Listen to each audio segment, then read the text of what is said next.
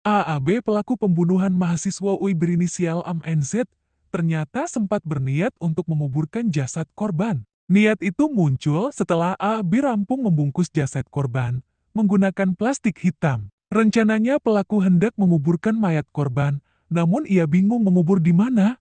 Kata Wakasat Reskrim Polres Metro Depok, AKP Nirwan Pohan, saat memimpin ungkap kasusnya di Polrestro Depok, Sabtu. Nirwan mengatakan, pelaku juga kebingungan mengeluarkan mayat korban dari dalam kamar kos. Ia bingung mengeluarkan mayat korban dari dalam kosan.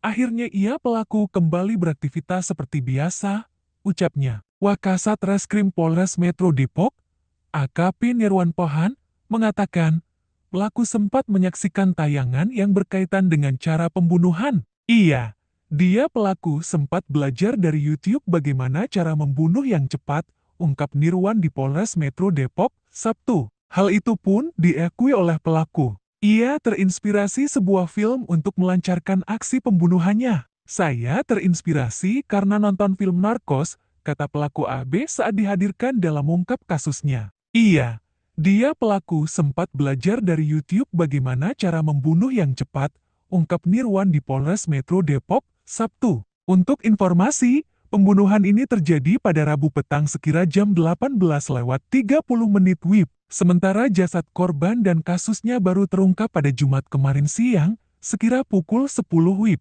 Jasad korban ditemukan terbungkus plastik dan disimpan di kolong tempat tidur kamar kosnya yang beralamat di Jalan Palakali, Kukusan, Beji, Kota Depok.